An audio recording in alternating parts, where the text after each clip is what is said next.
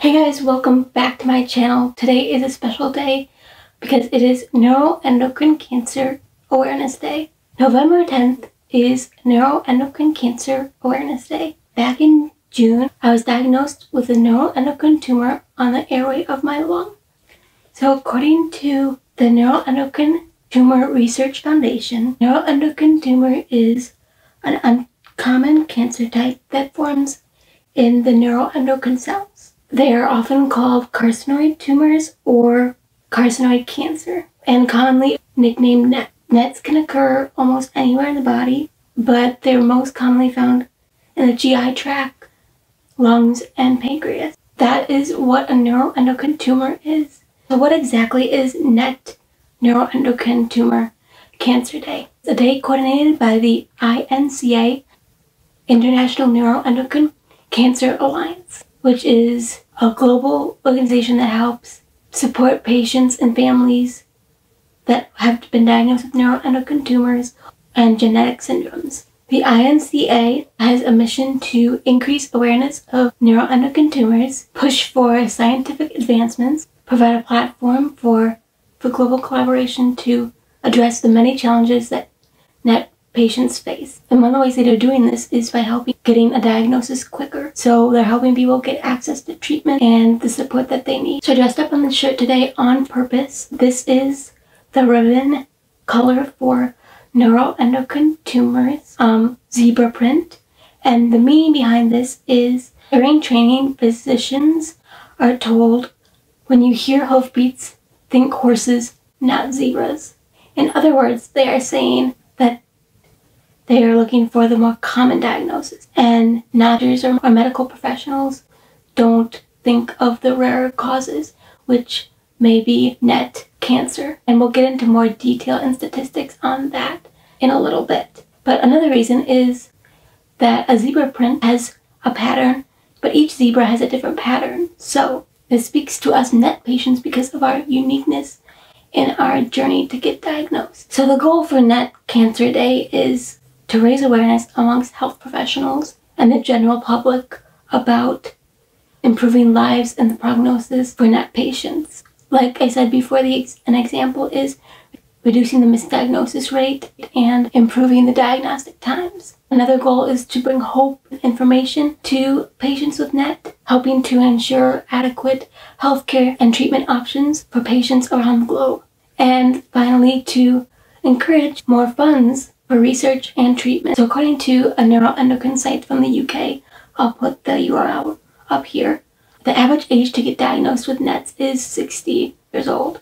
I'm 19. How does that work? I'm not really quite sure. I want to provide some information on NET cancer and AYA patients. So NET cancer is extremely rare in children and young adults, and it only has an incidence rate of 2.8 million per year. And I've been on Facebook groups, and I've only met one other person who has NET cancer my age. And even though she has NET cancer, she had it in a different area of her body and went through a different treatment process. So I have yet to meet someone with NET cancer in the lung my age. Some facts about NET cancer is that it often is misdiagnosed, which is because it can mimic so many other different things like irritable bowel syndrome, gastritis, anxiety, and asthma.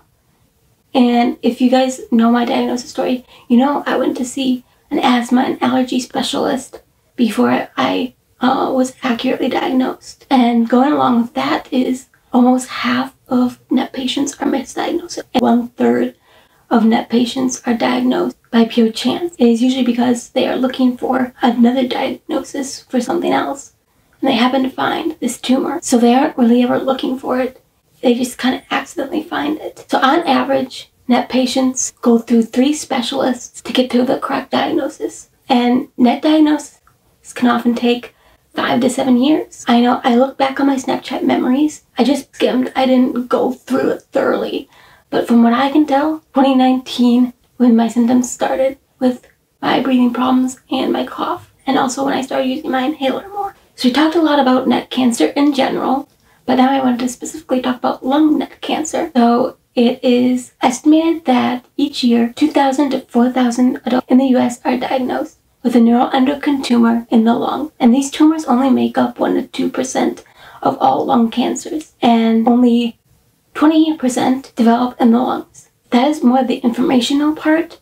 I'm just going to go into my journey so far. So, I was diagnosed in June 2021, and it was by a CT scan. In August, I started oral chemo, my first oral chemo drug, which was everolimus, which only gave me mouth sores, which doesn't seem like a problem, but it really hurt to eat for a while.